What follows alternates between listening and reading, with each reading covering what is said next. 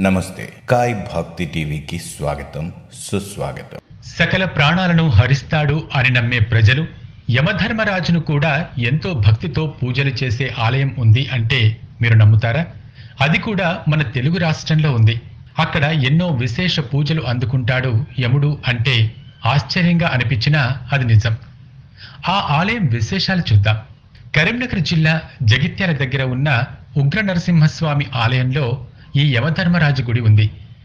మీ జాతకాలు బాలేవని ఏం చేసినా కలిసి రావట్లేదని లేదా జాతకం ప్రకారం ప్రమాదాలు ఆటంకాలు చెడు జరిగే సమయమని ప్రశాంతత కరువయిందని ఇలా రకరకాల సమస్యలతో బాధపడేవారు ఈ ఆలయంలోని యమధర్మరాజును దర్శిస్తే చాలు. ఆ సమస్యల నుంచి మీకు ముక్తి లభిస్తుంది అని భక్తుల నమ్మకం.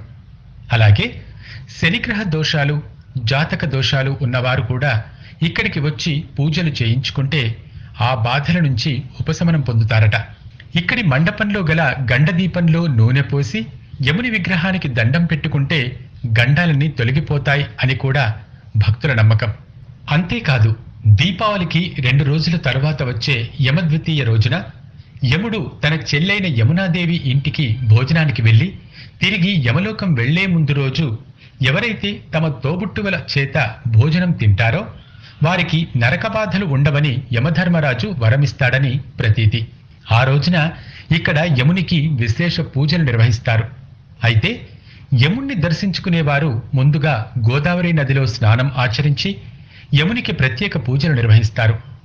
ఇలా పేరు తలుచుకోవడానికే భయపడే యముని అనుగ్రహం కోసం పూజలు నిర్వహించడం విశేషంగా చెప్పుకోవచ్చు.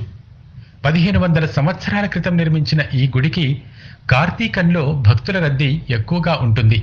మార్కండేయుడికి మహాపతివ్రత సావిత్రికే కాదు. మనకి వరాలు ఇవ్వటానికి కొలువుతీరి ఉన్నాడు ధర్మపురిలో ఉన్న ఈ యముడు.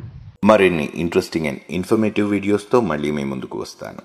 మరి ఆ వీడియోస్ కొరకు మా ఛానల్ని సబ్స్క్రైబ్ చేసి డైలీ అప్డేట్స్ కోసం ప్రక్కనే ఉండే బెల్ సింబల్ని ప్రెస్ చేయండి.